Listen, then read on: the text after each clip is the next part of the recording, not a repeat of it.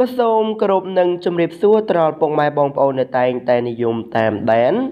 ព័ត៌មាននៅក្នុងបណ្ដាញសង្គម YouTube ជាទីមេត្រី នៅក្នុងវេលាគណៈនេះដែរខ្ញុំបានលើកយកនៅអត្ថបទព្រមានថ្មីមួយទៀតហើយដែលមានចំណងជើងថាគណៈពេលដែលកំពុងរងចាំលទ្ធផលក្រមទុំទាវ2021ស្រាប់តែលោកករណាពេជ្រនិយាយបែបនេះដែរថា ជាការប៉ុណ្ណាដែលនៅព្រឹកថ្ងៃទី10ខែកុម្ភៈឆ្នាំ2021ក្រុមអាជីលោកលេដែលសម្ដែងរឿងទំទាវ2021ដែលធ្វើឲ្យប៉ះពាល់យ៉ាងខ្លាំង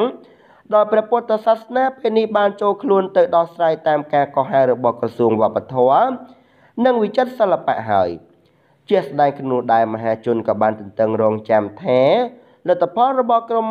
យុវវ័យមួយក្រុមនេះខាងលើនេះតើក្រសួងវប្បធម៌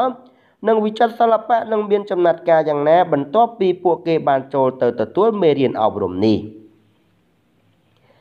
ដោយឡែកបើក្រឡេកទៅមើលតារាចម្រៀងការណាពេជ្រឯនោះវិញក៏មាន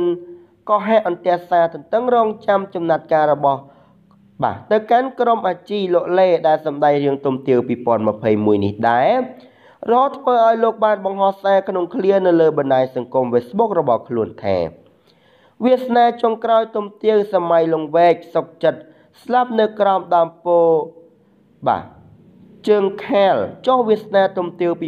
2021ចុងក្រោយទៅជាយ៉ាងណាសាររបស់ទំទាវបាទសំទោសសាររបស់លោកករណាពេជ្រខាងលើនេះដែរបានធ្វើឲ្យអ្នកគ្រប់គ្រងនិងអ្នកលេងបណ្ដាញសង្គមជាច្រើនហាក់ពេញចិត្តព្រមទាំងបានចែករំលែកយ៉ាងច្រើនទៀតផង។ បើចឹងសម្រាប់អត្ថបទព្រមានតកតងទៅនឹងអត្ថបទខាងលើក៏មានតែប៉ុណ្្នឹងខ្ញុំបាទសូមអរគុណនិងសូមគោរពលា